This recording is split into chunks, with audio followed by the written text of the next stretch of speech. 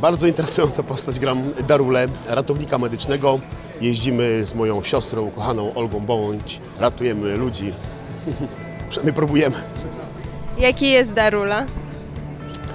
No kurczę, Darula chciałby być prawdziwym ratownikiem. Yy, Nawet może marzył, żeby zostać lekarzem.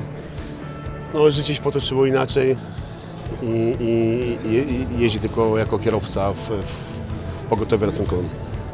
Jak tworzyłeś tą postać? Czy to na podstawie wszystko scenariusza, czy sam dokładasz, czy reżyser, jakieś wskazówki od Patryka? Jak wyglądały kulisy tworzenia Daruli? Znaczy, tak, jak, tak jak każda rola u Patryka, że każdy z nas czyta scenariusz i jakby swoje sugestie mówi. I jak ja bym widział tego bohatera. I oczywiście Patrykowi przedstawiam, jak ja bym to widział i Patryk albo akceptuje, albo nie. Tak jak w poprzednich filmach, tak samo. Tutaj ym, też chciałbym ym, poznać pracę prawdziwych ratowników i, i można powiedzieć, że zatrudniłem się. Yy, Jeździłem w prawdziwym pogotowiu z prawdziwymi ratownikami yy, na prawdziwe akcje i, i, i szacun dla tych ludzi, bo to naprawdę ciężki zawód i, i trzeba mieć powołanie, żeby być takim prawdziwym ratownikiem medycznym.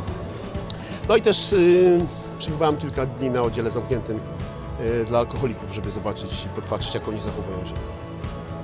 Bo ja oczywiście, mój, zapomniałem dodać, że mój bohater nadużywa alkoholu, nawet w pracy.